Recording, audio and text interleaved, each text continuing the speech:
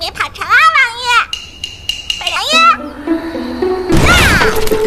Di kediamannya, Senli memelihara seekor burung. Burung ini sangat nakal dan mengejek Senli.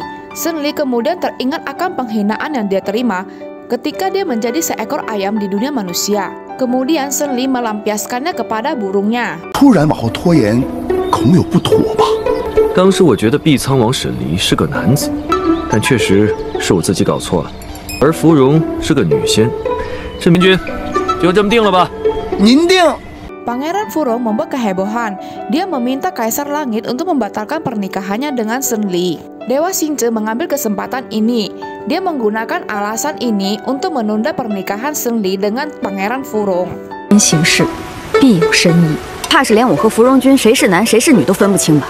Senli sangat kesal karena satu ucapan dari Dewa Xingzhe dia harus menikah. Kemudian karena satu ucapan dari Dewa Xingzhe pernikahannya harus ditunda. Namun memang inilah sifat asli Xingzhe. Dia selalu bertindak sesuka hati. 王爷避开了毕仓王府的看守，往军营去了。手下去追。让他去吧。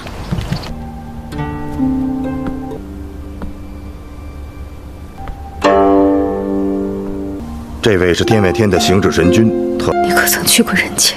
认识星云吗？ Akhirnya Senli bertemu dengan Dewa Xingzhe. Namun Dewa Xingzhe tidak mengakui bahwa dia adalah Xingyin. Karena Dewa Xingzhe berkata dia bukan Xingyin, maka Senli juga tidak bersikeras.